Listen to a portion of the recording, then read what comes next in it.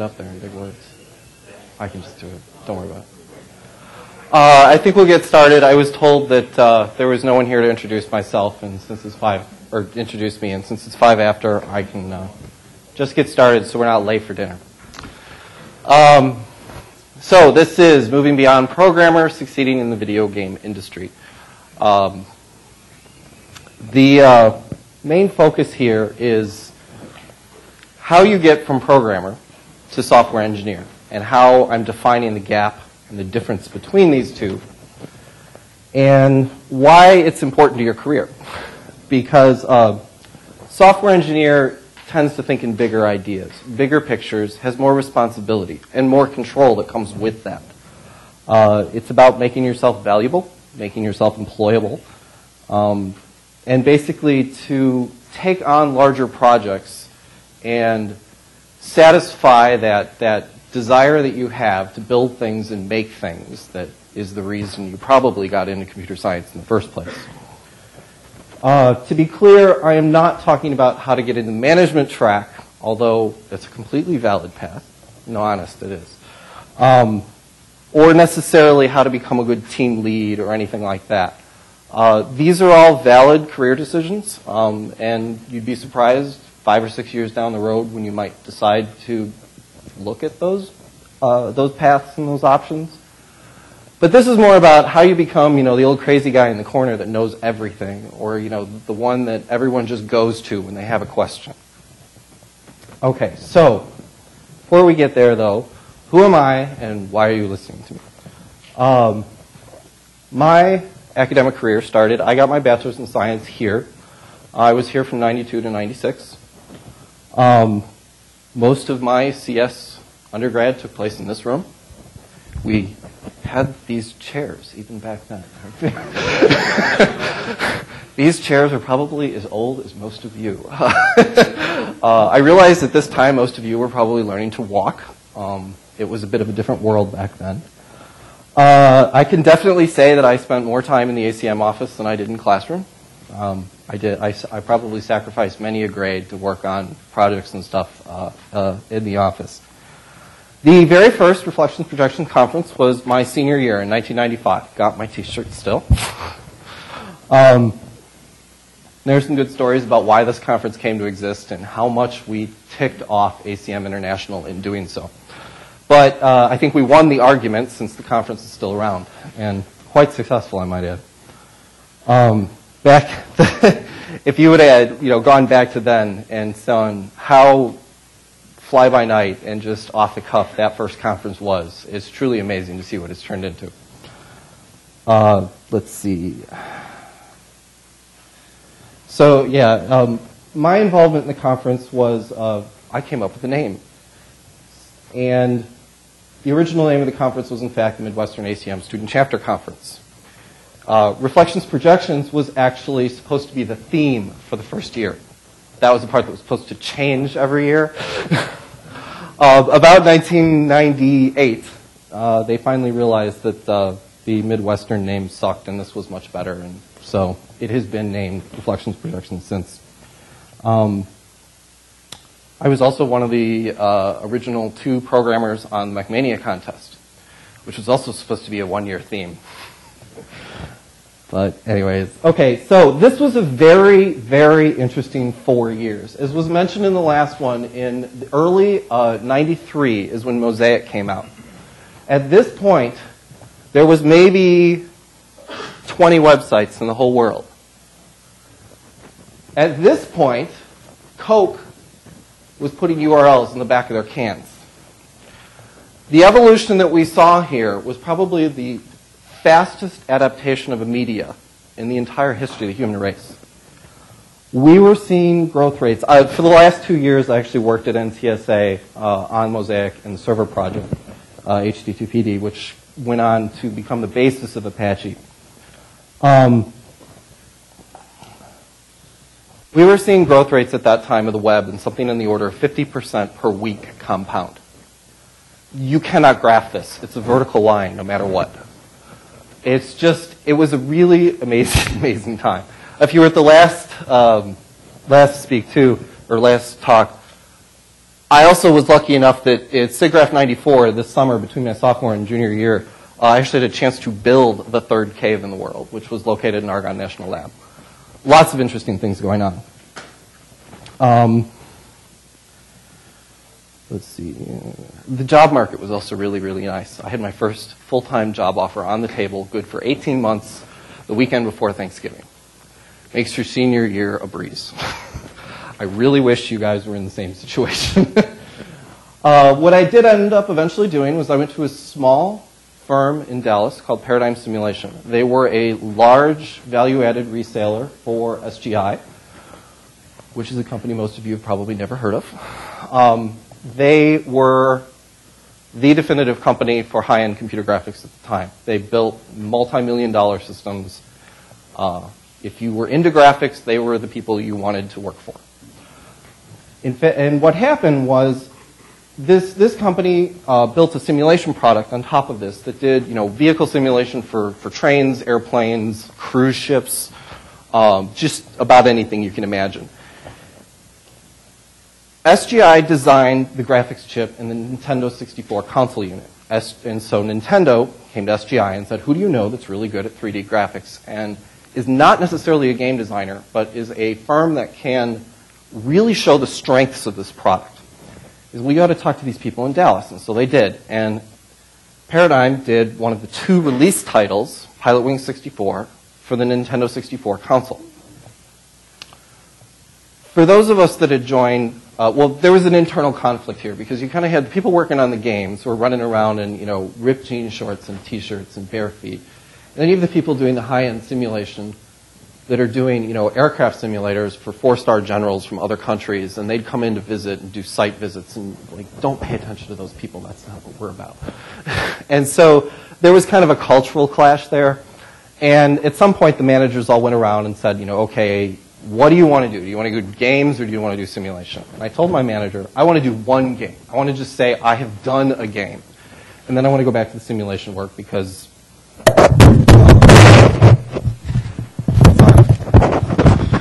because uh, you know I don't need that stress, I don't need that scheduling, um, but I want to say I've done it, you know. And so I was assigned to a game team, and a few months later the company split in two, and I was on the wrong side of the fence. So suddenly I found myself working in the entertainment industry, not exactly by choice. Um, At Paradigm Entertainment, I got involved in a lot of uh, large networking projects, and they went on to be quite successful. But I began to realize that it was just not happening for me. Um, and I eventually left Paradigm Entertainment saying I would never, ever, ever work in the entertainment industry again. Nobody knew what they were doing.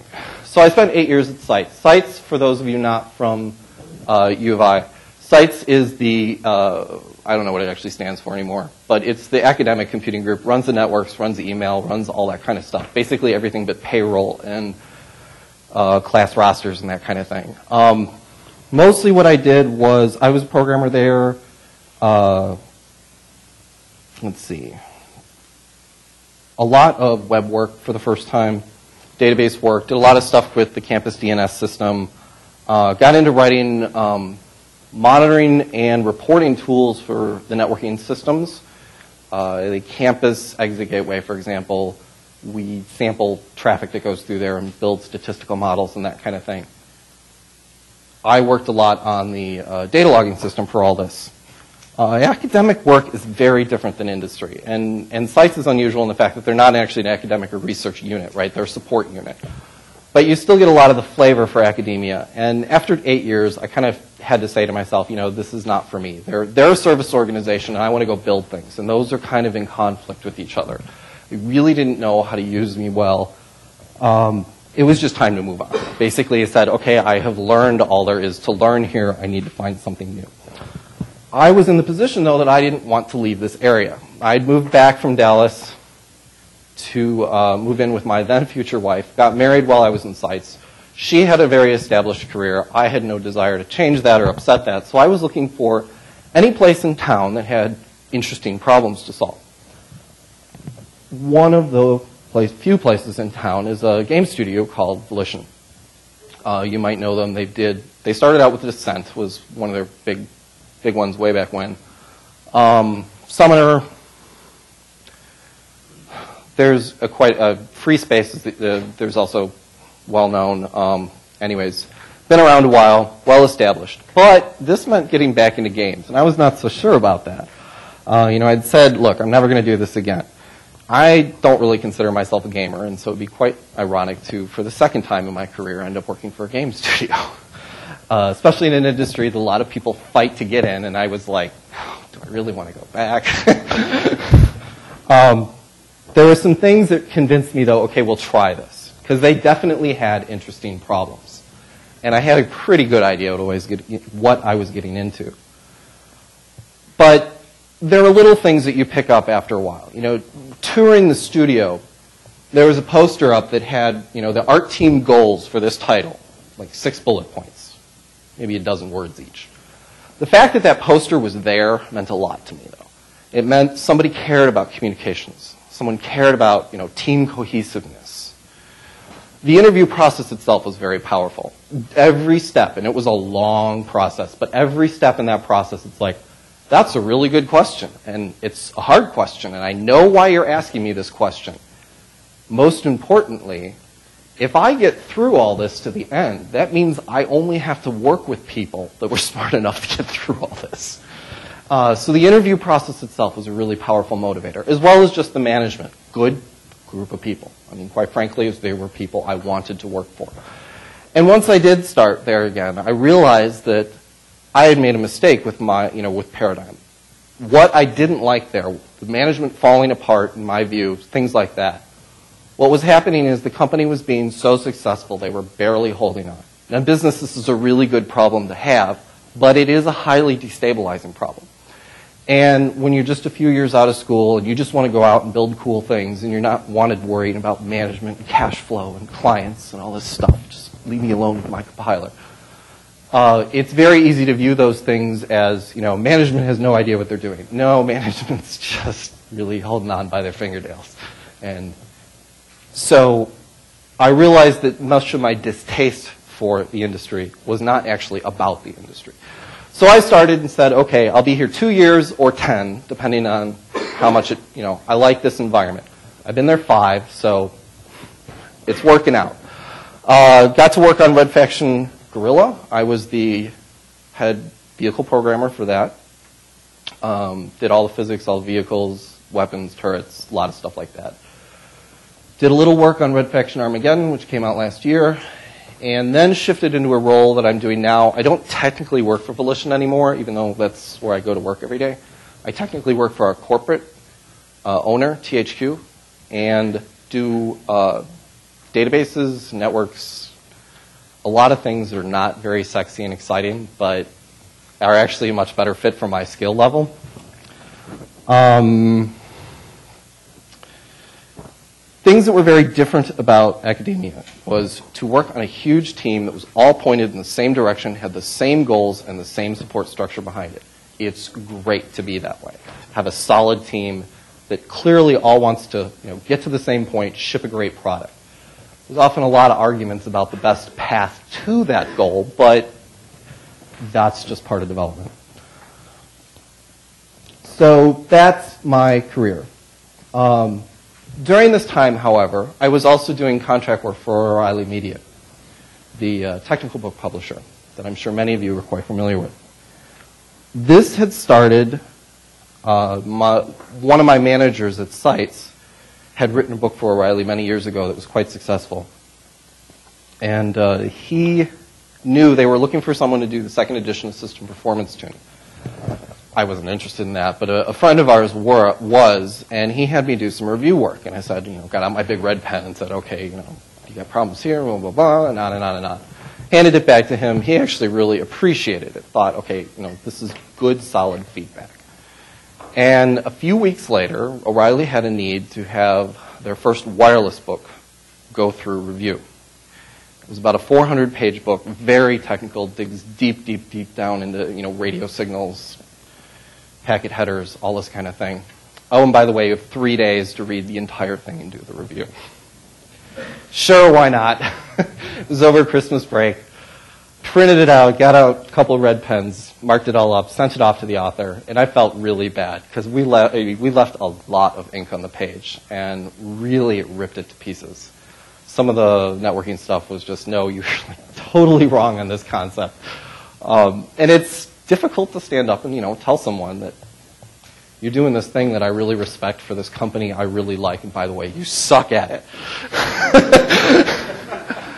but it turned out the author loved it. And at the time, I didn't understand that. But the, the author and the editor were like, wow, this has been tremendously useful.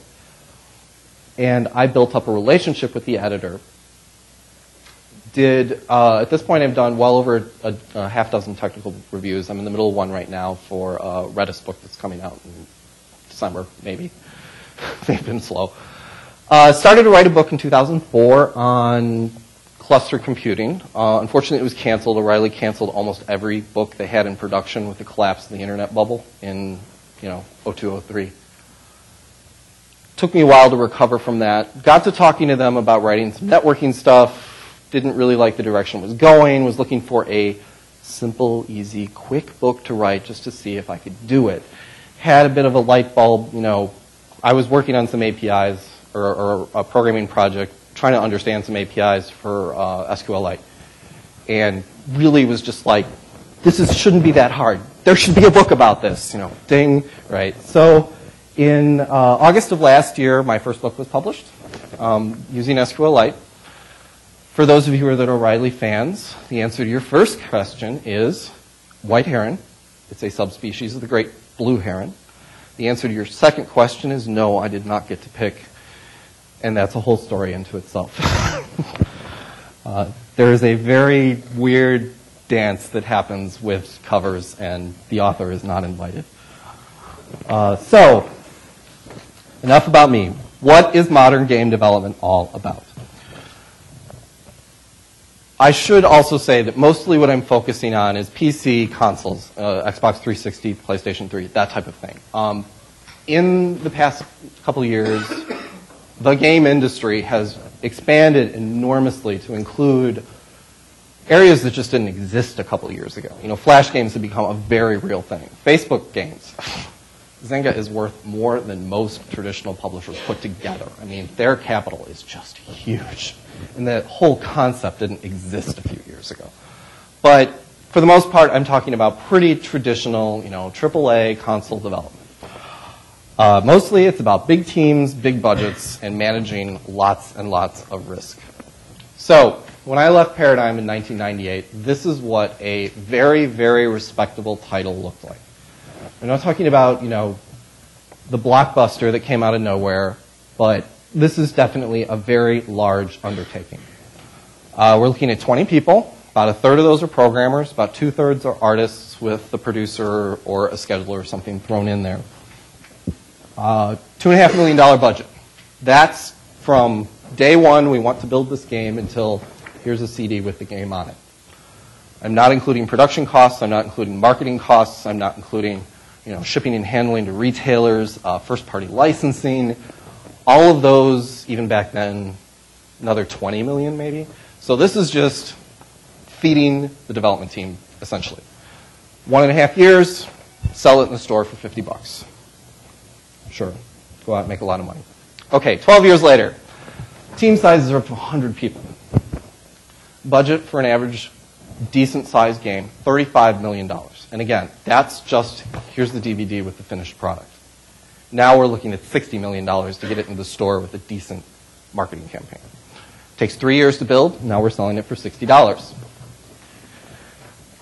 The 35 million looks big, but I would point out that if you make the team size five times as big and you keep them around twice as long, that's an easy 25 million.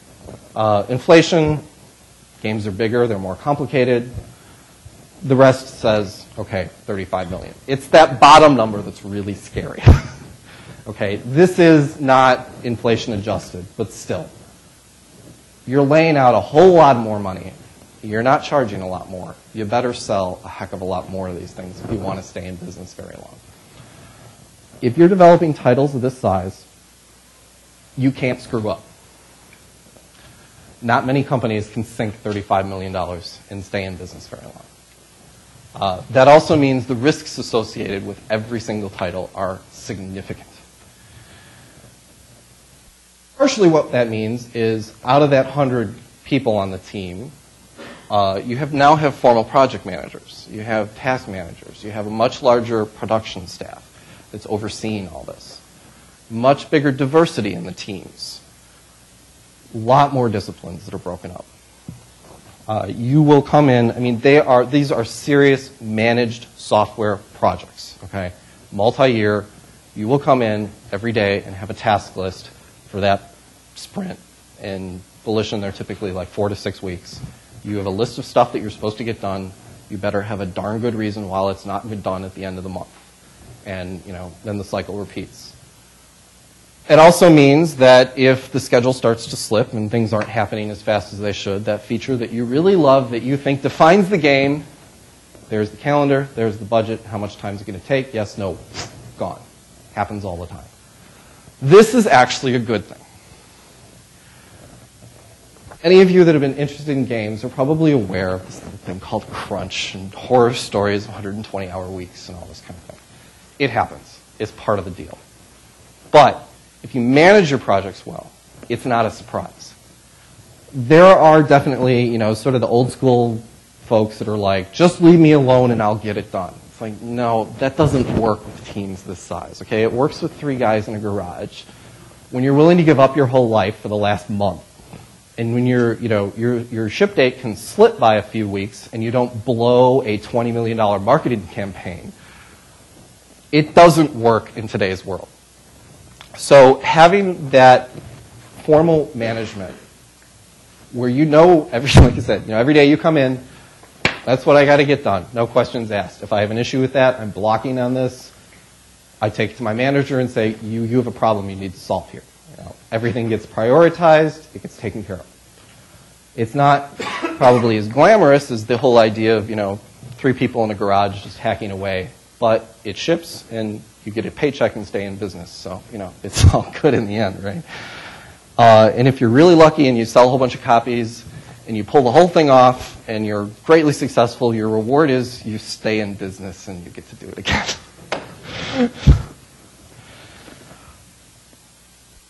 okay, so teams. Teams are very, very cross-discipline these days. Uh, just off the top of my head, you know, these are rough categories that I would break employees into. Um, every one of these categories, in addition to you know the people actually doing the work, would also have leaders. You'd have coordinators with all this. So modelers, okay, they build models and painters. In our studio, if you model it, you texture it. That's not true in all studios. In some cases, those disciplines are actually broken apart. Uh, we've got audio teams that create, you know, every line of audio that's recorded, every piece of music that isn't licensed, even the small stuff, you know, tire squeals, whatever. They have to build it all, just like the modelers have to build all the visuals. Uh, designers that actually build the game, decide what's fun, design the missions, design the levels. Uh, Volition employs two writers. One of them has a degree in theater because he write, learned to write screenplays. He's great. Um, not only does he understand story arcs and all these traditional things, he knows how to work with actors, which when you're recording lines is kind of important because when you spend a boatload of money on Hollywood talent and rent a studio for, you know, $2,000 an hour, it helps to have someone who knows how to get lines to tape really fast.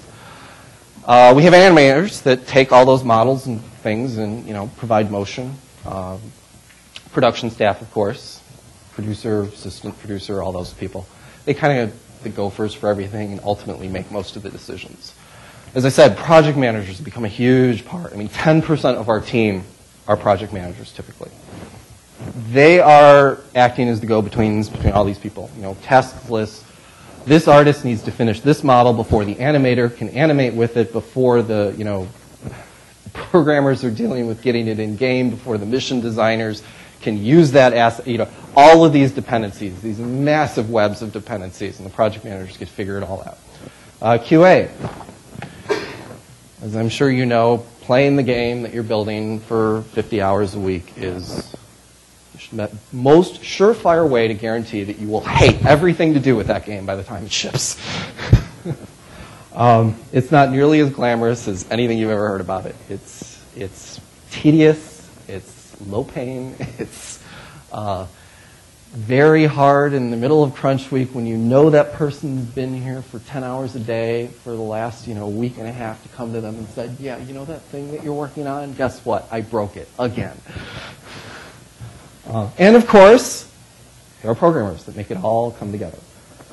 Even the programmers have a lot of specialization. Um, that isn't to say that you know once you launch your career, you're stuck in one of these roles, but we tend not to like to move people around. Certainly on a single title, but generally, once you kind of find your niche, you might take over you know one, one and a half of these areas and kind of float around. But they're definitely specializations. Rendering, uh, they're totally off on their own. they live in a world that the rest of us don't understand. Uh, physics guys, vehicle people, um, those two are highly related. Most of vehicle programming is dealing with physics. You'd be surprised how much physics you're dealing with. I mean, when I was doing vehicles, it was calculus every day because you're just dealing with them at a very, very core level. AI programmers that do their own kind of magic that most of us don't understand. Uh, gameplay, which is a nice way of saying the, uh, the grunt guys at the bottom of the ladder that get any task thrown at them. Uh, audio programmers obviously deal with uh, assets and audio rendering. Um, and of course, tools. Tools are a huge thing. Uh, unfortunately ignored by most studios, or at least not prioritized as much as it can. You want your artists to get work done, and most of your team is artists. If you want your artists to get their work done and get it quickly, you need to have good tools. And since the program, or since the artists tend not to be technical, they don't complain very much. And they should. There's plenty of times when I've seen situations where, you know, an artist is pounding away on something like, why do you do this really weird stuff that takes you 20 minutes? It's like, well, you're like, why didn't you just tell someone? Should have worn a collared shirt, apparently. Let me see if that. Uh, and very often it's, un, you know, unfortunately, it's like some program. What ha- you know, it, it, always happens. Like you're at beer, having a beer or something after work. Like, yeah, I had this terrible day. Comes out to some program and like, oh yeah, take five minutes to fix. You know? um, okay, so the one thing to understand though is programmers are at the bottom of the totem pole. In some cases, we're not even there. We're the guy off to the side, right? Programmers serve everyone else on the team. Everyone else on the team are our customers. We have to make them happy. We exist to bring the game designer's ideas to life. We exist to take that model of a vehicle and you know run it across the racetrack and make it look awesome. We exist to bring the audio to life. We ex- you know it's we exist to make everyone else's dreams become a reality. uh, and and that's a critical point too. It used to be that programmers kind of did everything, and took responsibility for everything, and that's it's with the teams these size, it's split. And one of the things that's really difficult for a lot of young programmers to accept is the game designers are there to design the game. I'm sure you have a great idea. You can go talk to them. They will listen to you. In most studios, there's a very open environment. Cross disciplines, what it's all about. Good idea is a good idea, no matter who it came from. But at the end of the day, they get to make the decisions. The designers make the decisions about what the game is going to look like, how it's going to play, not the programmers. And a lot of people have friction with that. Programmers get to decide how it works inside, and they can build all the neat little algorithms and stuff they want. But in terms of what the product is to the customer, game designers are fair. Now, there's, there is a fairly established precedent of programmers sort of migrating to game design. Occasionally it even works, but. Uh, so, yeah, bottom of the totem pole, like I said, everyone else is our customer. Now, the good news is programmers are still paid more than everyone else, except production, but it's good there. Okay, so that's what modern game development is about. Getting back to our problem here. How do we bridge this gap between programmer and software engineer? Uh, let's, let's start by defining what I'm saying by this. Okay, programmer, you're thinking more junior, thinking in smaller problems, okay? You know, chief, chief issue is you come in and write code. You're thinking in functions and small tasks. Maybe, you know, designing a class, designing one or two classes that interact with them. Really straightforward, very close to the actual task and operation of writing code. The software engineer is engineering things. So the programmer is more of a carpenter. Software engineer is an architect. They're thinking about systems, not problems. Uh, instead of thinking in you know, an individual class, you're thinking in a whole class hierarchy. How does every single item in the game fit together?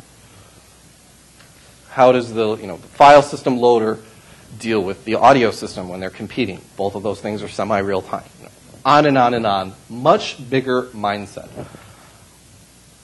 The programmer is dealing in micro decisions. Right? You're writing code. How do I set up this loop? How do I set up this function? The software engineer is dealing with big scope issues.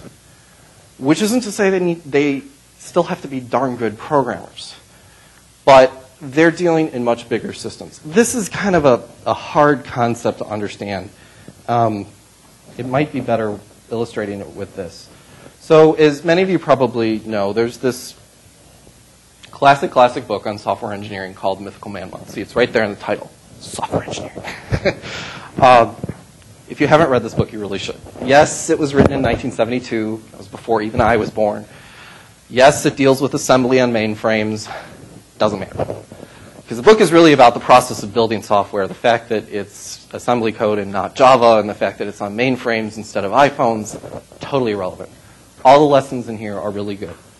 Core idea of this whole book is on page five, is this diagram. And this is the idea that there is a cost associated with building a program. Okay, this is what the compiler spits out, right? Congratulations, you have an exe.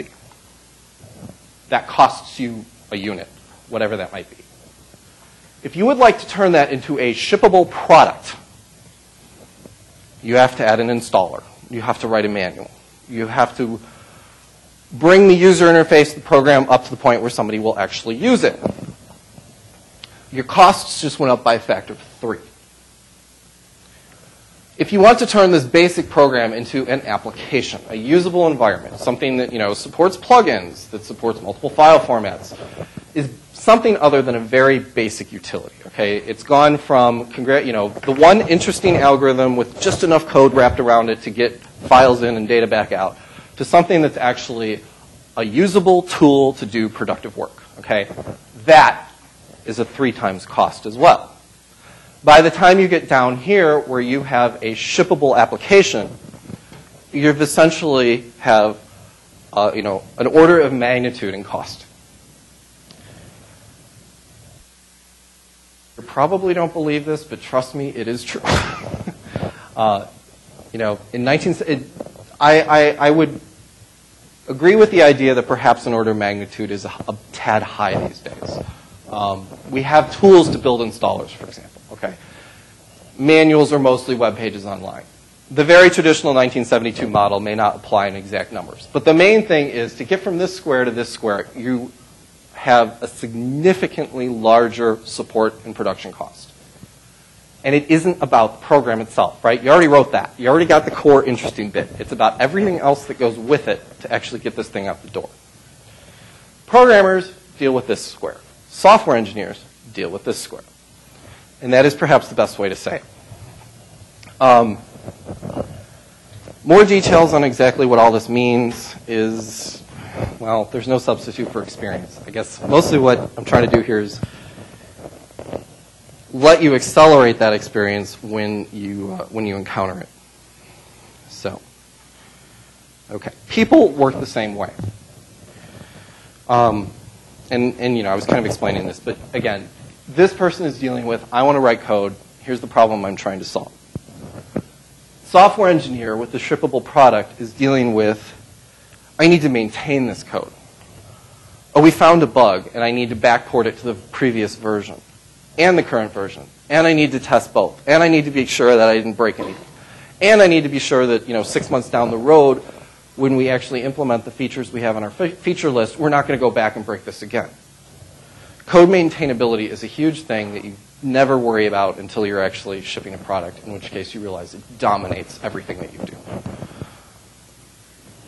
very likely you have a team by the time you get down here, probably a pretty big team. So now you're dealing with coordinating that team, with managing that team, be sure that everyone has the same vision, the same goals, all that kind of stuff. You're worried about product rollout. You have a target date that you need to hit. You have, you know, things that you need to give to marketing so that they can convince people to spend their money on your product. Uh, it's not necessarily about it we had an issue in the studio that was basically like we had a team lead who was so focused on building a game. We needed a team lead that was focused on building a product. You know, every time marketing came and said, "Oh, there's this huge conference or this huge magazine visit, we need a demo."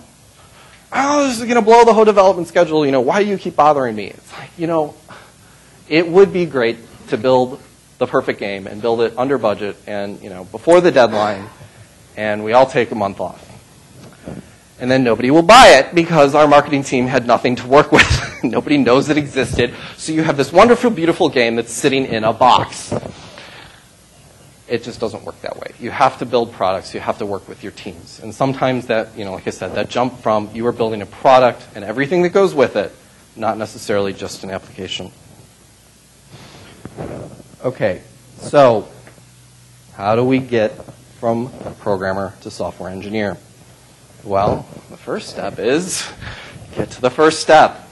Um, I'll get a little more into this later, but you really can't get beyond some of these ideas if you can't, if you don't get your basic coding skills down. You need to be able to build small things before you try to build big things. Uh, many people that graduate with a CS degree can't do this, okay? I don't know about your programs or your schools, but I know here I got a degree in computer science, not software engineering, not software development.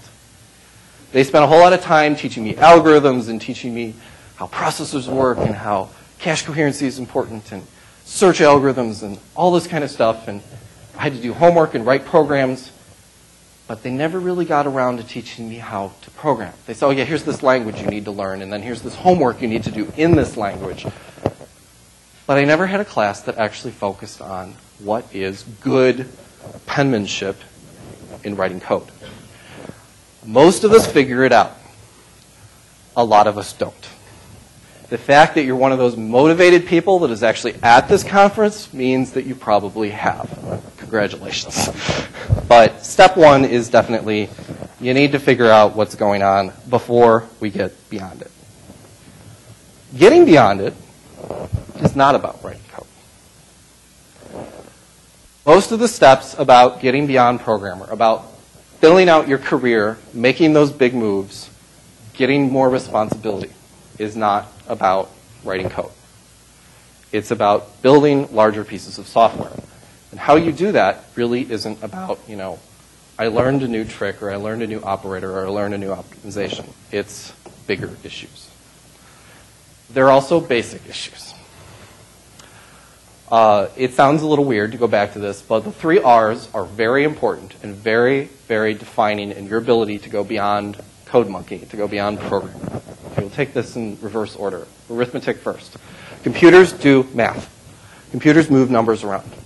That's it. That's all they do. At the end of the day, everything is abstracted to a number. In games, you know, colors, textures, images, positions, you know, the vertices of the model, velocities, inertia tensors, all of this is a number somewhere. You have to move these numbers around. You have to make them sing and do interesting things. You have to know math. Lots and lots of math. So my suggestion would be take as much math as you can stand while you're in school. At least calculus. Okay? At least calculus. As much math as you can stand. Because these are your tools. This is a toolbox. When you, you know, this is in computer science, this is learning the algorithms, not learning how to format your for loop getting beyond the algorithms, if you want to build algorithms, you want to design algorithms, the pieces, you know, an algorithm is typically like a series of steps, right? The pieces that make up those steps are math. And when you start to get into interesting problems, you need interesting, powerful, abstract math to solve them. So as much math as you can stand. And then some more. Take the basic track up to calculus. if that's as much as your brain can hold, and that was as much as mine did. I got to calculus and said, took one look at DiffyQ and said, yeah, we're not going there. uh, if you're really worried about your GPA, audit the class. Or don't even audit, just sneak in. I mean, you know, the idea once you get to at that level, I mean, you know, I, I like to tell people when I was doing RFA and I was doing vehicle physics, I used calculus every day. You ever been one of those persons that was in math class was like, when are we going to use this? You're missing the point. okay. If you don't know that this math exists, you will never use it.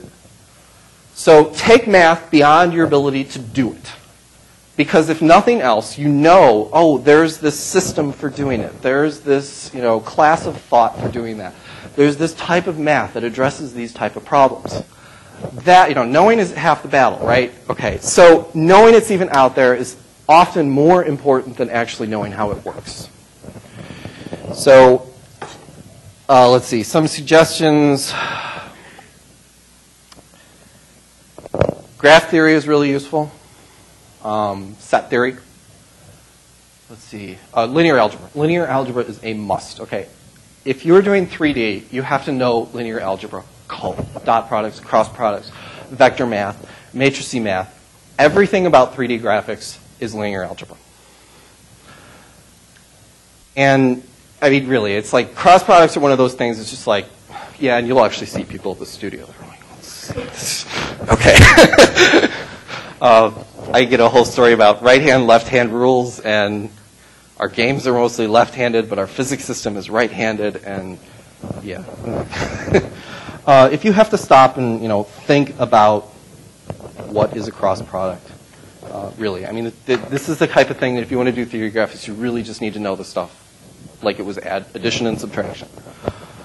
Um, knowing why, knowing what a class of you know math operations or a, a school of thought in math or a category in math, knowing why, knowing the fundamental reason of what do I do with this? What number, what does this number mean that popped out of the end of this equation? Is much more important than knowing how the math works. Okay, you might need to know cross products just like that because you will be using them all the time. Can you write a highly optimized cross product function? Uh, I'd have to get my textbook out, but I guess, you know, I don't care. My vector class has a cross product operator in it. Somebody who was really smart spent a whole lot of time highly optimizing it for, you know, this processor on this platform. I don't care how the, you know, the cross product works, but I know when I need to use one, and I know why I'm going to use it. You know, I remember learning dot products. I think it was junior high, or late junior high, early high school. okay, here's this thing called vectors, and you can look, you can calculate a dot product like this, and like, okay, I have a number. What's it mean? Well, there wasn't story problems in that lesson, so we didn't know, right? You know, here, go do 20 of them. Don't worry about it. Uh, it wasn't until my senior year of my undergrad, and it was in my 3D graphics course, not my math class, when I finally understood that's what you use dot products for. They're hugely useful and tremendously powerful. You use them all the time in 3D graphics, but I had no idea what this number was until then. So some of the whole, you know, why are we learning this? When am I ever going to use it? You will put those pieces together if you have the foundation of that math available.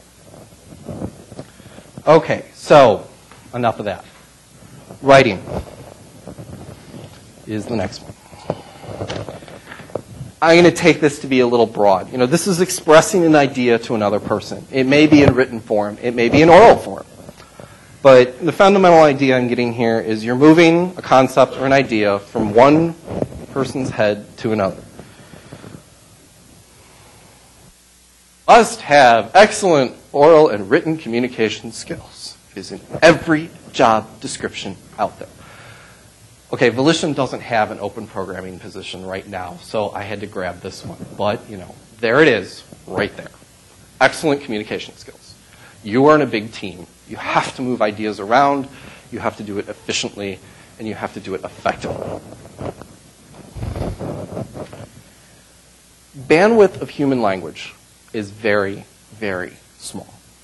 Very small. How fast I can speak to you or how fast you can read in the bigger scope of things, you know, cognitively compared to your visualization system, even your auditory system. My ability to move words from my and move ideas and complex things from my head to yours in a way that you can internalize, conceptualize, and grasp that idea is painfully slow. That's why, you know, classes are a whole semester instead of an interesting lecture. Boom, got it all, right? No, it's painfully slow. Many of you have probably heard this idea that, you know, if you're talking to someone, body language is 80% of what's, you know, the communication that's going on. And I won't argue that. What I will point out, though, is to me, what that example is pointing out is not that body language is this amazingly high bandwidth pipe of information. It's that language is really, really small. so you have a very small pipe, and you need to use it very, very well. You have to use it effectively.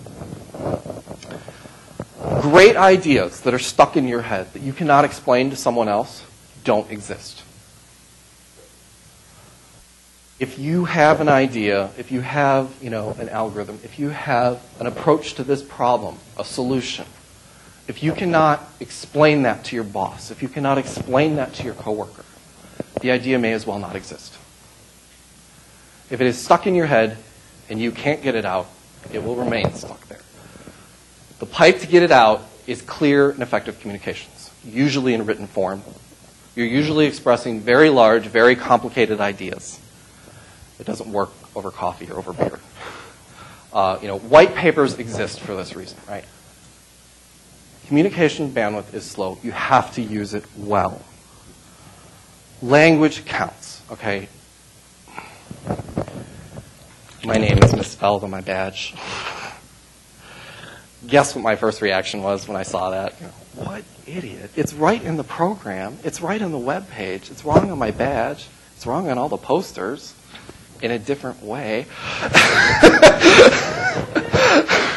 you know, I mean, okay, yeah, names have special priorities. I'll grant you that. And I'm also granting that at least one of you spotted a spelling mistake in my presentation because I found realized too late that this software doesn't do contextual spelling, and I will admit I'm a horrible speller. But I mean, you've all heard the story, right? You know, if you have a spelling mistake on your resume, trash doesn't even look at it, right? I mean, you the fastest way that you can convince someone you are a moron is open your mouth and can erase any doubt of it, right? You have to use language well. It counts. You know, I was reading. Um, yeah, it was a, a, it was a paper put out by a very senior engineer at Oracle, and okay, yes, it was a paper on why NoSQL databases are you know risky, and so you knew this. You knew the going in that this paper was going to be a bit of a sell job. But I'm like, okay, I want to read this white paper and see what they have to say and, you know, see how much I'm going to laugh at them, right?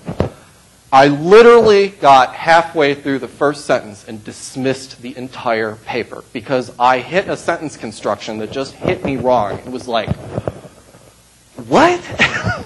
I mean, you are a multi billion dollar corporation, you are a senior engineer, and you, you, know, you couldn't edit this. Did you even read this before you put it out? No one caught this and said you might want to rephrase this. And, and I mean, that was it. I 14 page paper. I dismissed 90% of it halfway through the first sentence because of its construction, because it was awkward, because it was misrepresented. And so it went from a, you know, who knows, he might have something interesting to say, I'll, I'll hear him out, to this is a total snow job and the paper is complete crap and not worth my time. It's all text. Um, let's see.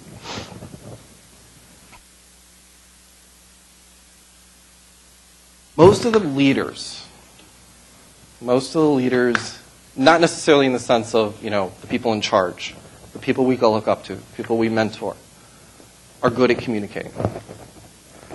Uh, popular blogs are typically defined by two things. A, they actually bother to post, and B, they're written well a lot of times the core ideas are not actually all that original or unique. What's unique is this person's ability to express that thought that you kind of had your head wrapped around to say, look, this is it. Not over here, this is what I'm talking about. Okay, that's about writing. It's about communications. It's not necessarily about the idea itself. Okay. One of the most powerful places this comes out in software development, not so much games, although this does come up in subsystems and so forth that you're handed to, though, is design documents. Design documents are critical to successful projects. Somebody needs to sit down and say, look, this is what we're actually trying to build. And if you have a team of 100 people, it becomes amazingly critical. Because everyone, you know, it's like, yeah, we're trying to build that thing over there. No, you need to define it. If you have the ability to write, if you have the ability to express complicated ideas so that other people can do them or, or understand them, you can write design documents. And you might think, why do I want to write design documents? That sucks. It has nothing to do with code. You want to write design documents because this is where all the power is. Okay? You can be the most junior person on the team, and if you say, well, I'll write the design document, they will hand you everything. Okay? When you're sitting there coding along, you know, again, micro decisions, right? Oh, I'm going to design the function this way, I'm going to put the loop here, and I'm going to put the initializers and all this, and I wanted these parameters, I want to pass it back. When you do the design document, you get to design the whole thing. Every paragraph, every sentence, you are making dozens of decisions. How does this thing fit together? How do the pieces interact? How do we even define the pieces? Where are the boundaries? All of that is in the design document. And if you write it, you get to make it all up as you go along. It's way more powerful than any source file you can ever edit. And I'll tell you a little secret. Here's the way you do it when you're a, jun- a junior member of the team, right? Oh, I'll, I'll write the design document. Okay, fine. You know, here, nobody else wants to. And you write it, and you write it. And then you, when you get your first draft done, say, okay, you mail it out to the team, and you say, look, guys, this is a living document. I, I'm not asserting this is the way we're going to do it. What I have done is we need to have a discussion on this. So I've put a stake in the ground. I've said, look, okay, we're going to build this. And please send you know, comments or questions or whatever. And if you think we should build this, let me know, and we can update the document. And you will send this out to your team of, you know, 20 managers and 100 people, and two people will reply telling you that you misspelled a word on the third page. And that's it. And now your vision for what this product is about has really become what this product is. Six weeks later, when they start to build it, and they start building foundation pieces, they might be, wait a minute, I finally reviewed that part in the document where you said, and you know, we don't want to do it that way. Well, management already signed off on it, and you already had a choice, to, you know, chance to look at it. And I'm sorry, we've already built the first foundation piece, and we can't swap out the foundation because we've already built the first two floors too. So you're stuck with it. Design documents are incredibly powerful. They're a very, very good way to assert yourself, assert your ideas, and because programmers are programmers, a large part of us go, I don't want to write anything. So if you're the one, I'll write it. It's a way in. I mean, it is an incredibly powerful way in. Um, I've actually used, the other thing that, that design documents are very good for is uh, I've used them defensively. I was in a situation with the, the current project that I'm in where uh, I was being asked to do something that was very poorly defined. I was going to have almost no manager oversight at all, and I was going to be cast off for about a year and a half to get this thing done. And I had the sneaky suspicion it was going to be a very, very important cornerstone to future projects. Uh, and I've been in this position for, before and gotten completely screwed because you go off and you think, okay, I know exactly what they want. I'm going to build it. It's going to be great. It's going to run fast. And you work and work and work, and you get to the end of the year, and you're like, look! And they're like, no, that's not what we said I'm like, but, but you suck. We're not going to give you a promotion.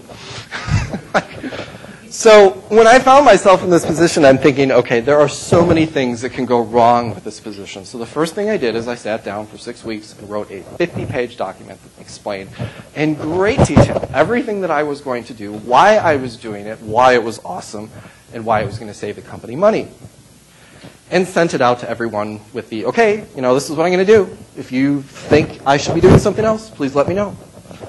And nobody did. So I went out and built it. Came back a year later. Like, look, that's what I said I was going to build. this is what I built. See how they perfectly line up? Give me lots of money. As it turned out, I actually didn't need to do that because once, uh, uh, once I had written this document and said, you know, look, this is what I'm trying to do, my boss mailed it out to our finance person and mailed it out to the, the team leads from other studios. And they all said, oh, wow, you know, we didn't really understand what you were trying to get at, but now we get it. We understand. We get what you're trying to do. And we like it, and we think it's useful, and we want to support that. And everything was great. So it was really valuable to my manager as well, because he could sell the project, you know, here's this wonderful document on exactly what we're doing.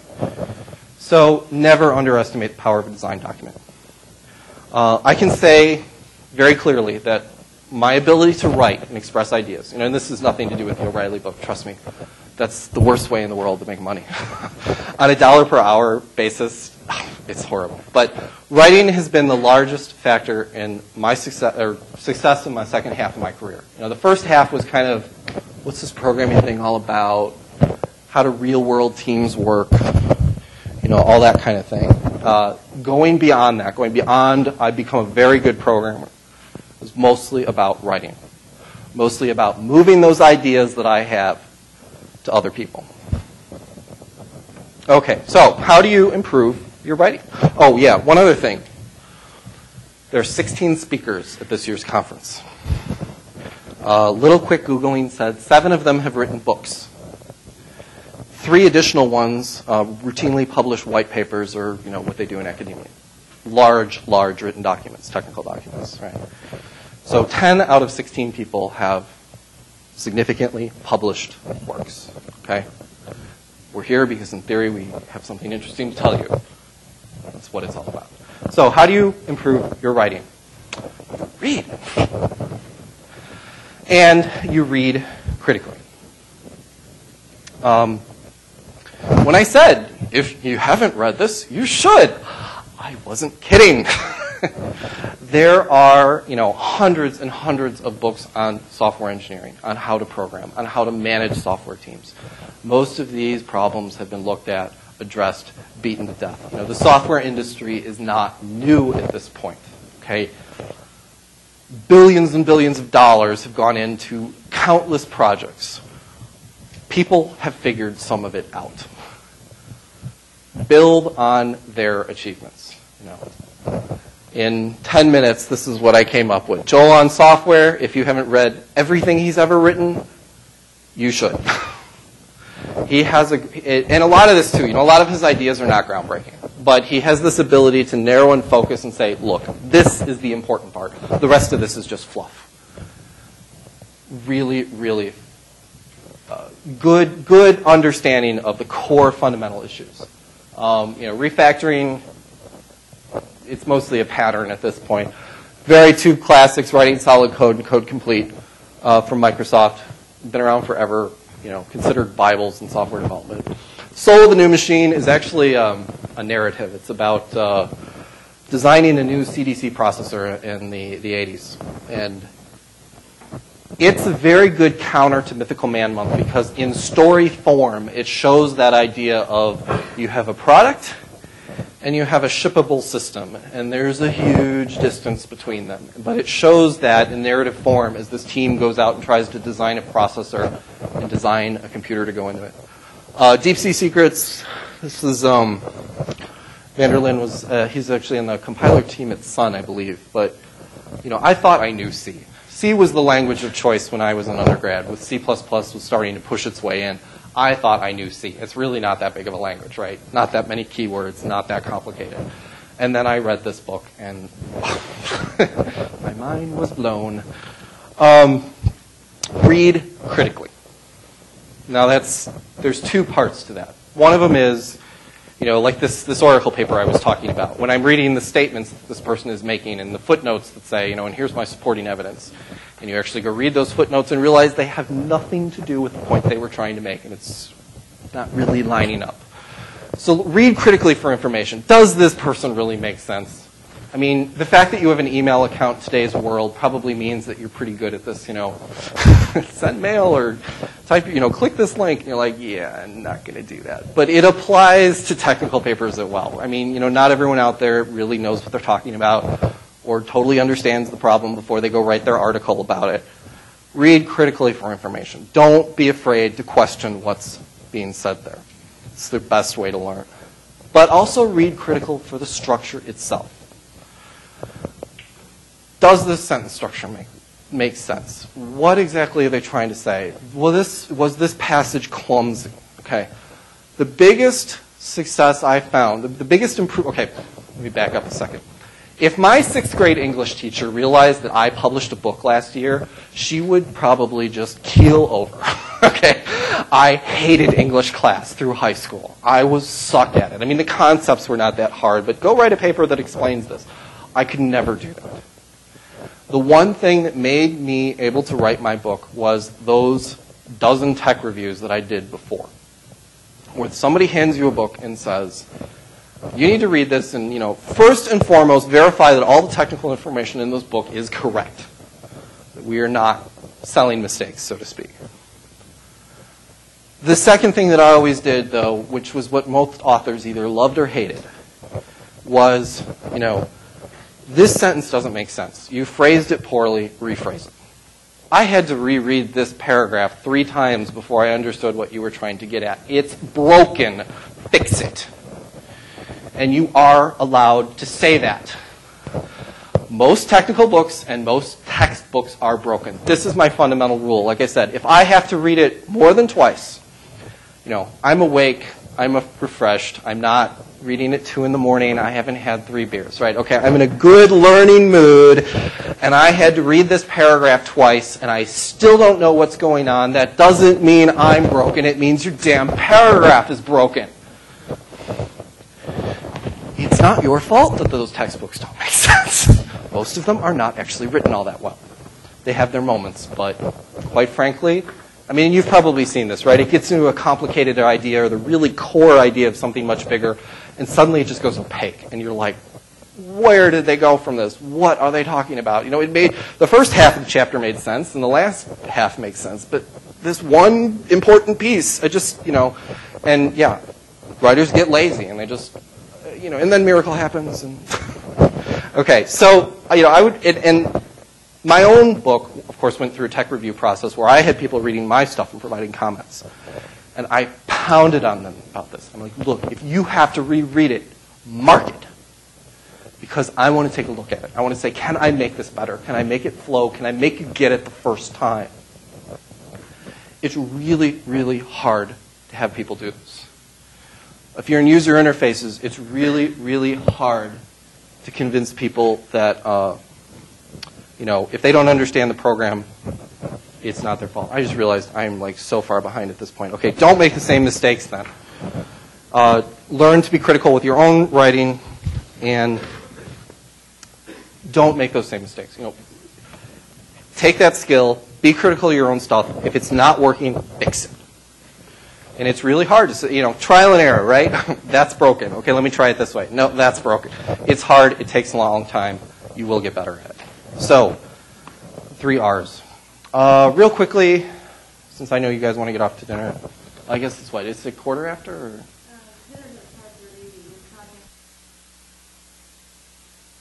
Five fifteen.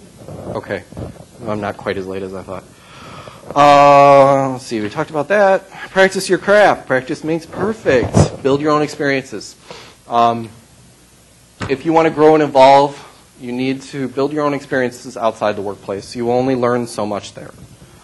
Uh, so it's it's this is taken from Harley Davidson. This was actually the theme of, of Reflections Projections 96. Live to code, code to live. Uh, of course, it's not actually about coding. It's about building things, right? You want to go out, you want to have an idea, try it. Okay, if you are one of those people who just lives for software development, you should be living for it.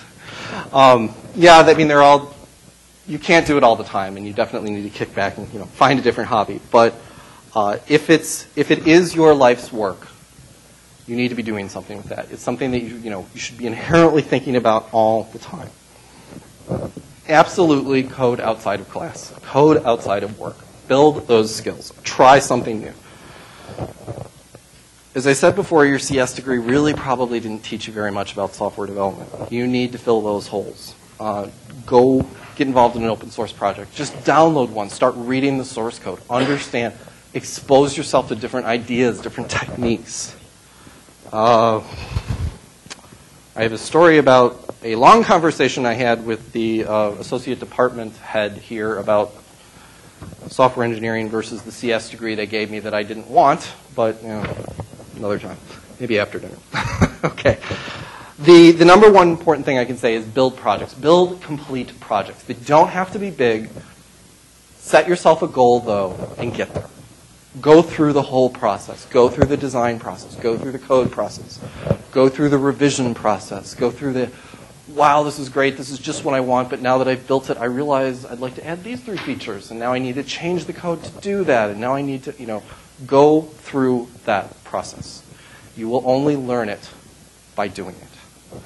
And there's nothing limiting you. Like I said, you don't need to do this as part of class. You don't need to do this as part of work.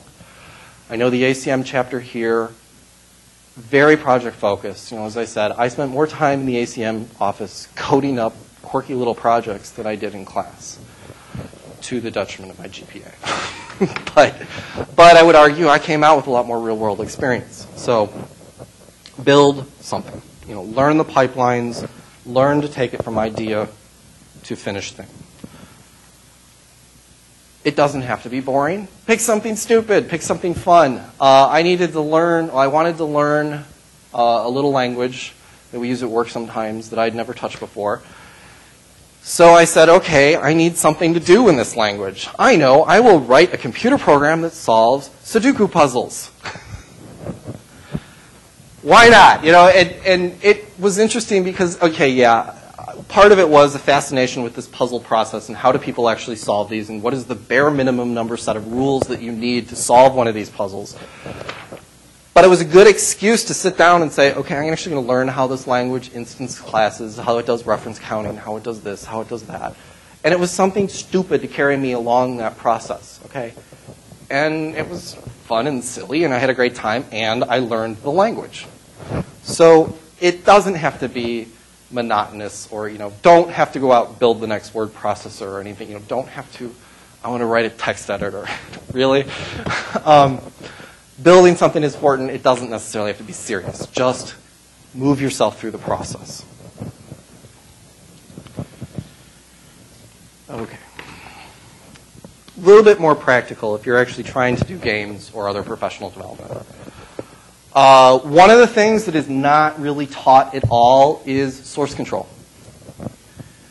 Most large teams live and die by their source control system.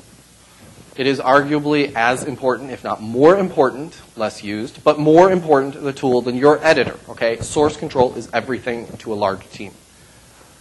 At Volition, if the building burned down, okay, we need two things. We need all the people to show up somewhere, and we need our source control server.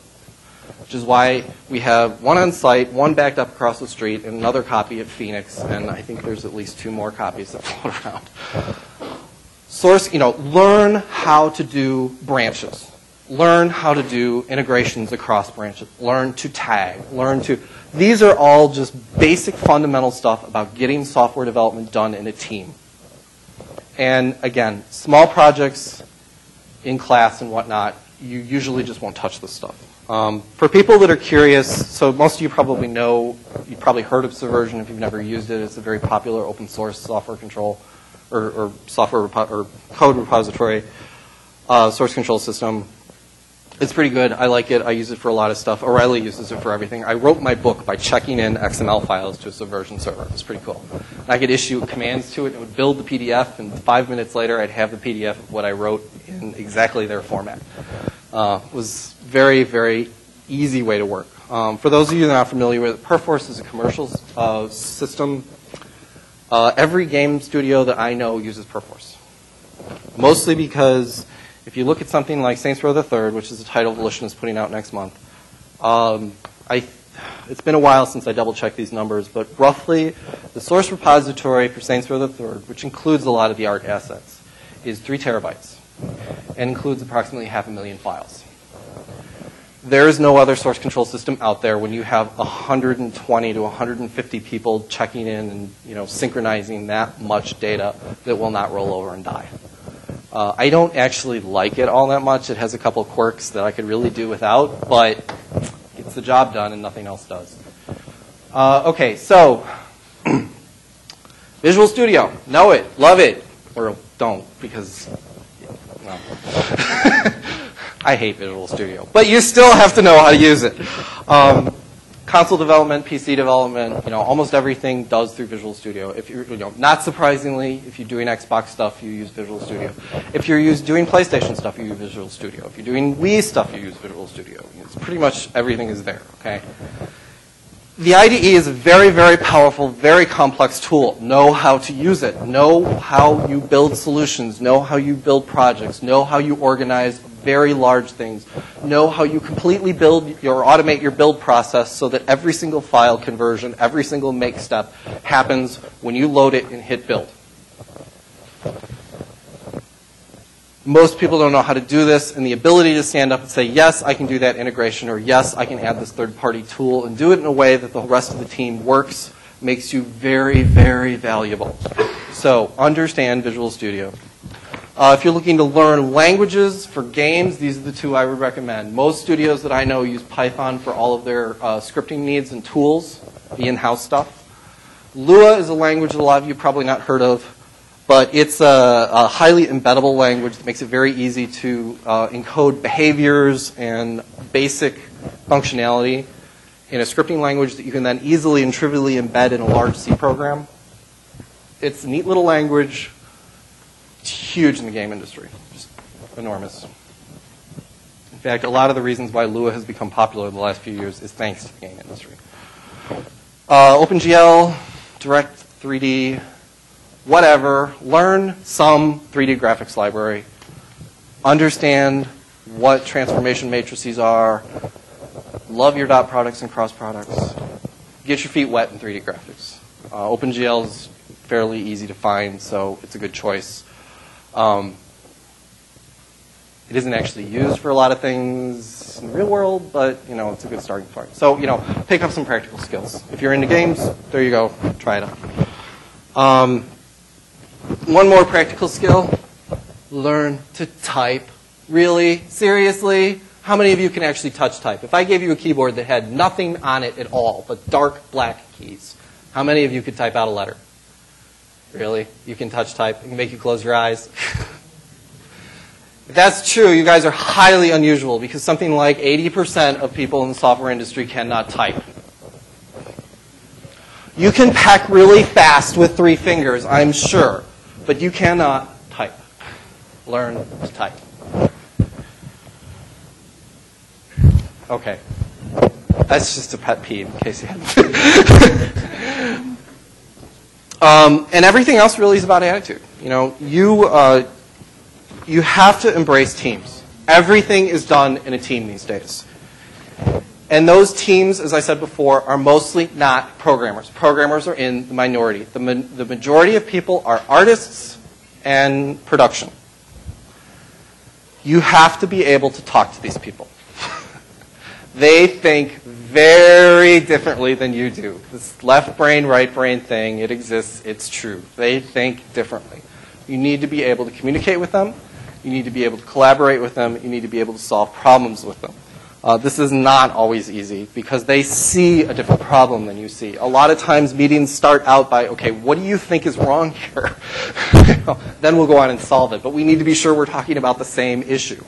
Um, artists just think differently. And if you fall into the trap of, you know, I have presented you with these facts, I have made these assertions, you did not come to the same conclusion that I did, therefore you are stupid. If you fall into that trap, you will destroy your team incredibly fast. Like I said, these people just think differently. You need to back up a couple steps. You need to say, okay, you know, what is the problem we're actually trying to solve? Because it's human nature too, right? Someone will come to you and say, well, you need to do this. Like, well, that's impossible or incredibly expensive. Why? You know, that is the dumbest thing I've ever heard. And you can't do that. You need, okay, well, why? You know, what problem are you trying to solve? Because you've come to me with a solution. But what I really need to know is what your problem is because I have a better idea on how to actually fix it in the code. I just need you to tell me what you think is wrong. This is a really programmers that shift over to game design, this happens all the time. And it's just sort of like, no, you haven't looked at the code in three years. You have no idea how it works. Tell me the problem you're trying to solve. I will figure out how to solve it. That's a really, really important uh, jump for a lot of people. Um, strike teams are really common. A strike team is like you have a problem, it's a big problem, it's holding up the whole team. So you take one programmer, one artist, one, you know, one project manager, boom, there's a team. Your life is this problem until it is solved. You need to be able to talk to these people. You need to be able to work with them. You need to be able to identify them. I have to admit, you know, and, and this collaborative type thing is really powerful. And, and Red Faction Guerrilla, I sat next to the vehicle artist, okay? I sat in a room with no other programmers. me and the artist and a bunch of producers. It was probably the most successful time I've ever had at the studio because I could see every problem that he had, every frustration that he had. And every time something came up, I need to put animated suspensions in the game. Okay. Hey, Chris, how do you model these things? You know, how can I make it that I need these two data points to plug into my algorithm, and the modeler has to set those points? How can I do that? You know, or, the, or he would come to me and say, well, we need to put this visual thing in the game. Well, I can't do that. That's really expensive. We don't have that data, or we can't model that. But I tell you what, I can't do this thing that you want, but I can give you this piece and I can give you this piece. Can we bring those together to fake it, to you know solve your problem, but or maybe the one right next to it? Is that good enough? Um, these type of things happen all the time, and if you can talk to these people, if you can communicate to them, things will go much, much better. At this point, I have to admit, I prefer to sit with the artists. I don't like sitting with other programmers. I know all their jokes. They're not funny anymore. the artists just have more fun sometimes. okay, so understand what you're getting into. How do you break into the game industry? Understand the game industry is not big. In fact, it's quite small. If you ignore for a moment you know, flash games, web games, iOS. If you're looking at traditional PC games, console games, uh, things of that nature, right? Large established studios, basically. The global uh, employment in that sector is roughly 40 to 50,000 people. To put that in perspective, IBM employs half a million people, 10 times more. Okay, the global game industry is relatively small. So it's not necessarily easy to get into. I keep getting into it by accident, but. Um, so it, you have to be better than that stack of resumes. You know, yours has to come out. And it's even harder to do just out of school. I mean, these days, yes, the economy is real. Studios are shutting down. There are experienced people looking for jobs as well, and you get to compete with them. So you need to make yourself stand out. And part of that is, you know, what this whole talk has been about, right? How do you elevate yourself above CodeMonkey and make yourself valuable and make yourself employable? How you get in the door, okay, no games. If you're not a gamer, that's fine. Like I said, I'm not a gamer really either. I don't consider myself one. I would much rather sit down on the couch with a good book. But now also when I do it every day, yes, it's one of those things that the last thing I want to do when I get home is, is play something. But know games, know what makes them work, know a little bit about design that you don't talk, you know, you can at least talk the talk. And when I'm being critical of the design, not only the gameplay aspects, but the technical ones as well. You know, understand what graphics cheats this engine has and what visual fidelity this one is trading and all that kind of thing. Understand the game industry structure, know what a studio is, know what a publisher is, know what a first party is, a second party, a third party, what those phrases mean, where the money goes. Uh, there's lots of info out there. I mean, I could put a series of lectures together on this. Unfortunately, I'm not really the person to tell you this, but uh, games, um, Gamasutra, which is a game site about the industry, not about games, is a really good starting point. But there's tons of information out there know the industry you're getting into. I mean, really. Um, most of all, the biggest factor. You know, you got your resume, you spell checked it. you send it off, right? Okay. The biggest single thing you can do is build a game. You're coming to these people and saying, I love games, I love coding, I want to do it for a living, I really, you know, this, I've always dreamed of this. Well, okay, you've got a computer and you've got access to all these things. This thing you wanted to do your whole life, why haven't you been doing it? you know, a PC game is very good. Um, for one thing, it forces you to use the same tool chain that we would. So, you know, and it doesn't need to be, you know, Call of Duty one half. Okay, it does, you know, small scope, right? That's the whole idea. Don't necessarily big build, big build large. We'd much rather see something that's complete and is a simple puzzle game than, you know, this grand vision that you had that, that six months into it you realized you were started a five-year project and sorry I didn't finish it, you know understanding those, recognizing those things is very powerful and very important. And so we want to see something complete. Size is less relevant. Build something. You know, if, if it's a flash game, fine. You know, at least it shows that you're putting an effort forth. You're trying to say, I have this idea. I want to bring it to life. Uh, Microsoft has a program called XNA that lets you download uh, and build stuff for the Xbox. You know, awesome, awesome, really good, really good. Uh, there's a little bit of money involved there, but um, it, you guys can probably afford it. I think it's like 100 bucks a year or something.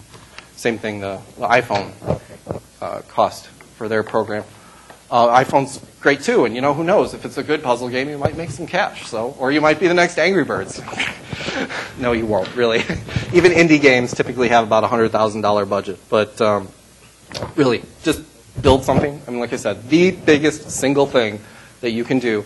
An artist shows up with a portfolio and go, wow, look at all the wonderful things you did. A programmer needs to show up with something. And that PHP code that you wrote as a part-time web developer last summer, we don't care. okay. So build something. If you're going to throw the, the, the, DVD in with your resume, that's great. Include the source code. We're going to look at it. Um, so that is probably the one biggest thing. Well, okay, yeah. learn to write, and then to get into the industry, build something. Uh, don't ignore the hiring process. Okay, there's actually the whole task of getting the jobs. Kevin Fanning used to be the recruiter at Volition. Great guy, bizarre sense of humor. uh, this book is, is, it's only 40 pages long. You can get off his website for like five bucks. He's spent most of his career as a recruiter and hire in the game industry. He's not kidding about, you know, actual information from someone that at least has a clue how it works. He hired me. Um, I'm not necessarily saying, you know, you have to get this book, but I'm saying it's a great starting part. If you're curious about the process itself, you know, don't have those wonderful ideas and then blow it by calling them three times a day. Did you get my resume? Did you get my resume? No, we don't care. But okay, so um, I guess that's it.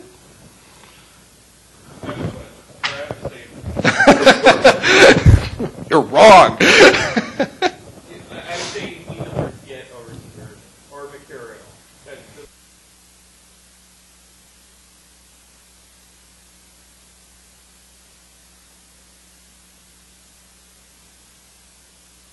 Yeah, in fact, we had a discussion about this in the studio, and the entire idea of distributed source control got shot down so fast for some very legitimate reasons. I mean, I, for open source, I absolutely agree with you. Um, there's a lot of motivations and team distribution and everything that, that the whole distributed system is great.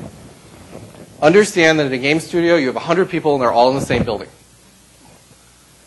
You have you know, half million dollar SAN storage systems that do block level replication to Phoenix as soon as that thing is written to disk we, I mean, the infrastructure we build is just very different. This is, so I, I, don't, I mean, I wouldn't necessarily argue with the idea that, you know, subversion is not the product you should learn, and okay, fine, I don't care. My point was not that subversion is there. My point is learn source control, okay?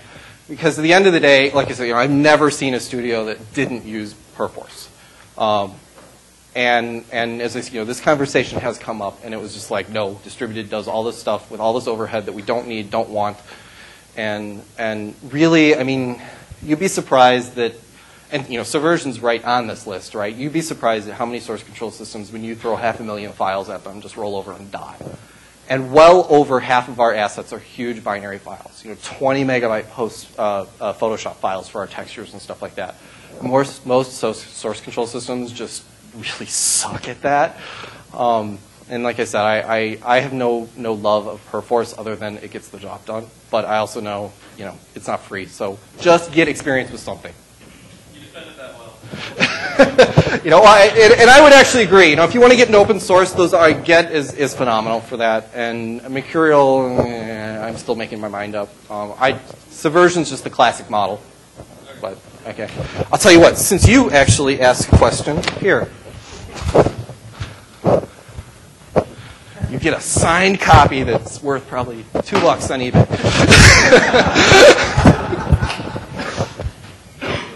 Anyone else?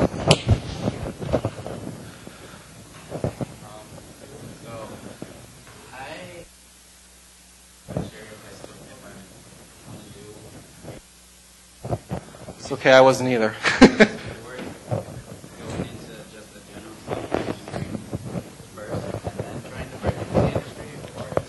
Well, I mean, I guess part of that is what of interest. You know, is it one of those? Don't get me wrong. Game gaming is a great place to work. I mean, you know, you want to talk about a casual office environment. We will not have a company meeting unless beer is served. Okay, they just we will not show up. Management knows it. I mean, yes, they do networks and databases, but you know, I do them in games, so that makes it awesome. um, it's, it's a very interesting industry to work with. It is fast moving. Ask yourself what you love about it. You know, if, if, if the idea is I want to do games and I want to do programming, therefore I need software, probably not a good approach. If you're a software guy and you just love to build things and love to write code and you're all about the systems and that kind of thing, and you say, can I apply this to games? Yeah, probably. I mean, in many ways, um, we have a very strong balance. Now, getting back to this diversity is strength idea. Uh, you can go, we have a lot of people that have, you know, CS degrees, even a couple PhDs. We have a lot of people that come out of places like Full Sail, uh, which is a game and media academy. I don't know exactly how they try to sell themselves these days. It's a for-profit place, though. And it's very easy to look at the people that come out of a program and be like, you're not a real programmer. I got my CS degree and I spent a lot of money. you know? But uh, we, we actually had a program, well, like I said, we hire a significant amount, but we had one person who came out who totally changed my mind about that idea. Okay, yeah, he asked some questions that were like, you know, dude, that is like algorithms 101. You know, this, what, what is a stable sort versus an unstable sort? He actually had to have someone sit down and explain what all that was. You know, what does a sorting algorithm do if the two things are this equal? Well, it depends on the algorithm. And, you know, it was sort of one of those, do you really not know this stuff? You know, how can you call yourself a programmer? Uh, but the flip side of that was, you know, he came out of the box. He, everything that he did, he did in teams. Every, you know, he knew source control totally, absolutely understood what it was all about. He was producing value almost faster than most other people because he understood the process of software development. Now, his career development was slower because, in terms of core skills, he was starting a little further back. But that diversity is strength. So, if you're really into software but sort of into games, there still may be a place for you. You know, like I said, we've hired PhD people. We hired a whole bunch of people when Motorola shut down. You know, really, really techie kernel kind of folks, and there's a place for them. Yeah. Um, if it's more of, you know, like I said, I want to get into games, I want to build games, and I think my path to doing that is programmer, you probably sound more like a designer. and and someone who's a technical designer is a great thing. I mean, you know, they're very valuable. But uh, if, if the core motivation there, what draws you is more, I want to build games. I want to, you know, I have this idea, I want to do this expression, I want to know how to improve that from a user standpoint. It sounds more like design. And that is, I mean, you can go out and get a degree in that these days. Well, not from too many places, but you can. And it's useful. So, I mean, really, I'd just say, what, do you, what is what is the passion there? Identify the passion and then follow that. How about this side of the aisle?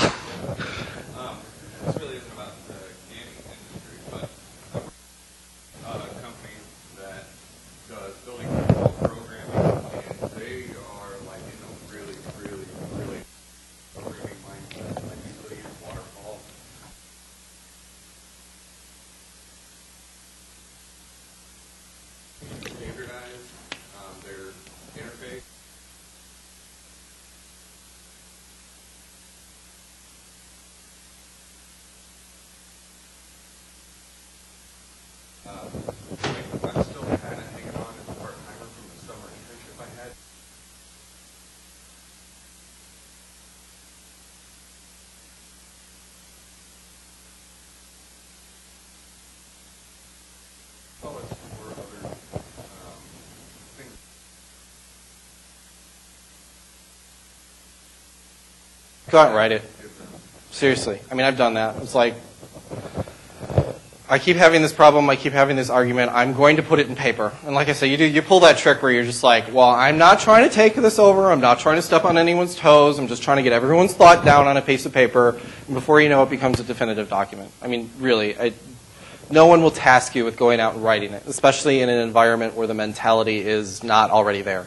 You know, the, the importance of it is not understood. But if you just go out and write it, I can almost guarantee that you know one of two things will happen. They'll either go, you know, you're, the senior guy will make a big huff about you're trying to step on everyone's toes and take over, and bad things will probably happen. But you know, it's part time, so what the heck? or, you know, right? Or it becomes the gold standard. Um, so really, I mean, and yeah, I, like I said, I've done that defensively myself, where I just said, you know, I am writing this. I, here's what I say I'm going to do. You have a chance to say yay or nay, and down the road, if you didn't say anything, that's a yay. so, anyways, did you on the other side there still have a? Yeah, so like if you're developing software, and then you want to add different ideas to the game.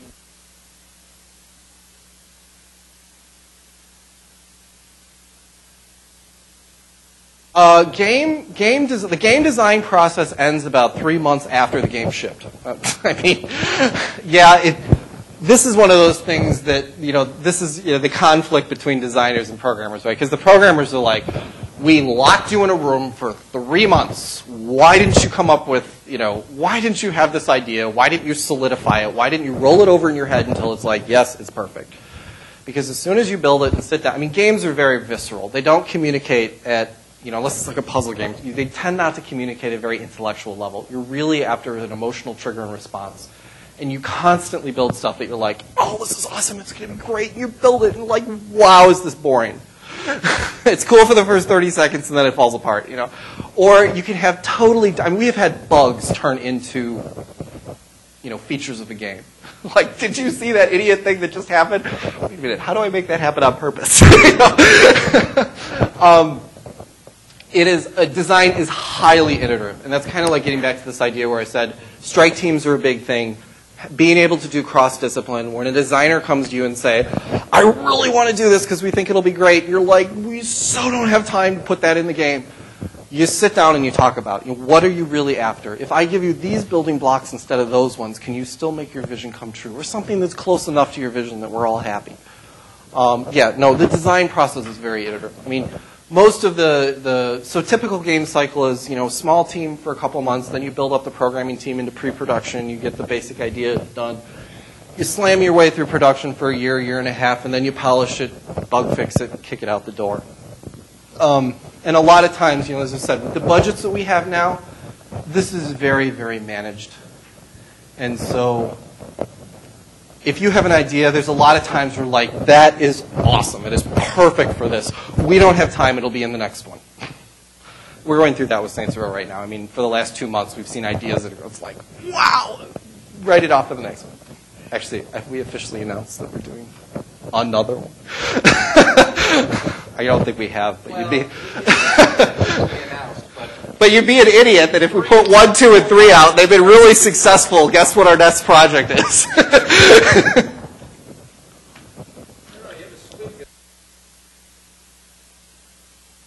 you have no idea. I, Saints Row is, I, when I came to Volition, I purposely got myself put on the Red Faction team because I could just not deal with the insaneness that was Saints Row. I mean, even some of it, it's like, you know, I, a producer, I think, was it a, who was it? One of the producers, basically, no, it was a marketing guy. He was trying to explain Saints Row. He's like, it's that awesome game that you would never let your kids play and you won't admit to your parents that you worked on it. like, yeah, that about sums it up. we have a four foot purple dildo in our game that you can beat people to death with. Top that.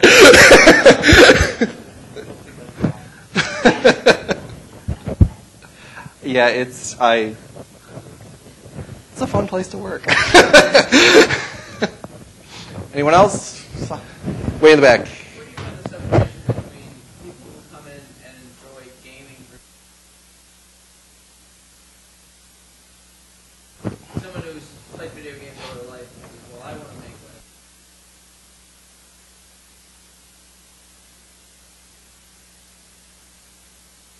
Most of the people in the first category are actually in the second category. I mean, right? Because if you come in without specific knowledge about, you know, like you're a programmer and you want to do games, uh, with the stress on the and there, right? Um, when most people come in, you know, I've played all my life. I love playing. I love the features in this game. I hate, you know, what they're really talking about is the design of the game. You know, not wow, look at the texture shader in that one compared to this one or something like that. Um, and and yeah, and I don't want to dismiss, like I said, I don't want to undercount the idea that in most studios, it's an open floor. I mean, I can walk into the producer's, walk up to the producer's desk. I can go to the chief combat designer and say, look, you know, I've been playing this, and I, you know, have you considered this? Um, and they'll listen. I mean, unless it's you know way late in the schedule, they will listen and they'll think about it. And most of the time, they'll say no, and here's why. And you'll be like, oh yeah, I didn't think of that. Same reason why when a designer comes to us and says, you know, we want you to change this entire code base, and like, well, you'll break this, this, and this. You can't do it. Oh, right, okay. You know, I guess a lot of it is there is an open floor typically when it comes to design, but at the end of the day, you have to respect that the game design is up to the game designer. That is their job. That is why they were hired. You must assume they are good at it. You have to give them that respect, right? So, um, yeah, I mean, i- i- if the whole approach is I play games all my life, I like this one, I don't like that one, you know, you're immediately, that's a design thing, that's not a technical thing. Which isn't to say, you know, if you love programming, you can't bring those two together. But most of the time I hear a story like that, it's like, yeah, you're, you're one design. Anyways, again? All right, so how do you, like, you said a lot of times, no.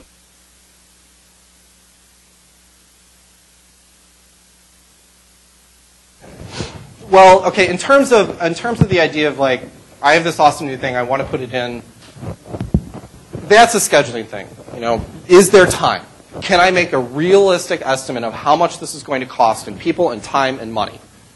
What is our budget? How you know what is our deadline? Where is it? This is these are business decisions. They're management decisions. It's very very hard to take something like a game where people are highly passionate about what you're creating and make sane, rational business decisions that don't step on a lot of people's toes. Thankfully, that's mostly the producer's job and project manager's job. Now, the flip side of that is when you do have a design interaction where the designer comes to you and say, I really want to do this, and here's how I think you should do it. Well, the first thing you do is just kind of dismiss them and say, okay, let's start with the, I really want to do it, and I'm going to throw out your, and here's how, because that's my job. So you explain what you're trying to do, and then there's, I mean, it's a back and forth process, right? You need to understand what the core vision of their idea is. And then you need to figure out, my technical limitations are here, how can I deliver that? Without moving that vision very much or, you know, polluting it very much. They're happy because at the end of the day, they don't care how it works as long as it works. You're happy because you didn't have to rewrite half a million lines of code, you know.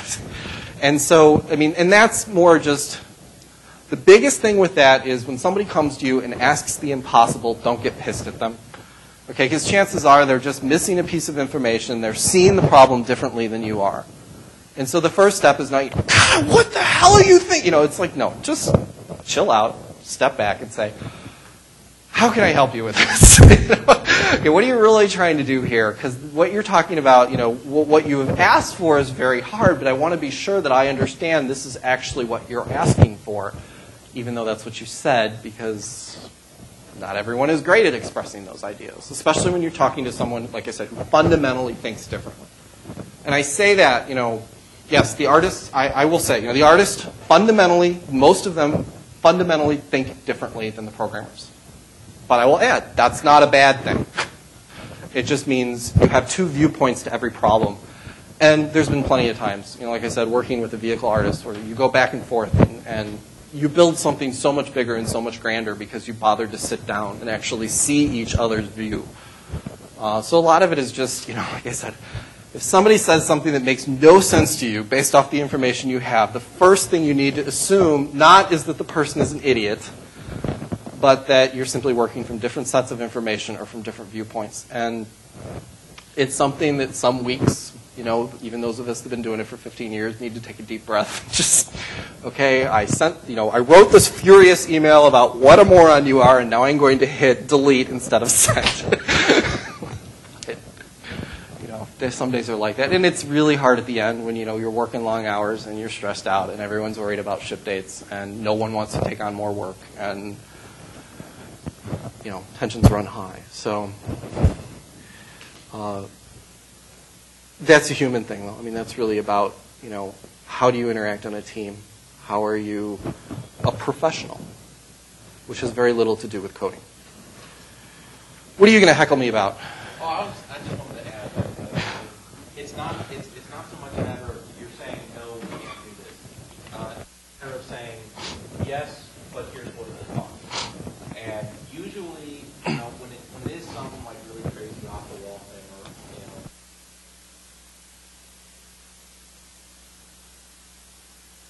I had no idea it was going to be that big of a pain. yeah, I will happily change it for you. How about this? Oh, that's easy. And, and that's where it gets a lot more difficult. Um, and you do, and you do have a lot of that.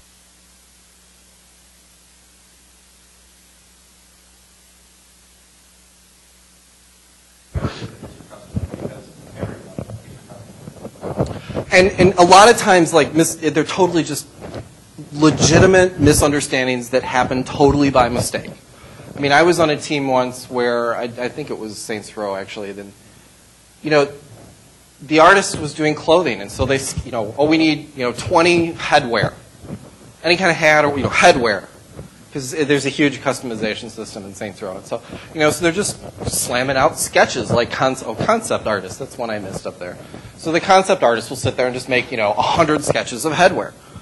Well, one of them was a ski mask. And just, you know, the programmers freaked. They're like, "Do you have any idea how complicated the facial system is?" And just like, "That don't work. That's going to blow the whole schedule. What the hell are they thinking?" You know, it was like, "Oh, ski masks are hard. You can only do, you know, ball caps. Okay, we'll just cross it off the list." oh, okay, thank you. Like, you know, the concept artist had no idea. The artist had no idea. And it was like literally there is just the guy was going through a clothing catalog of every type of headwear. You know, type headwear into Google image search. Okay, we'll do a, you know, we'll do a top hat. We'll do. it's like oh, we'll do a ski mask, and we'll do. You know, and all of a sudden there was this big bomb sitting there. You know, it's like okay, we'll just get rid of it. We don't care. you fumed around and stormed around the office for a day and a half until you. you know, like, really, it's not that big of a deal.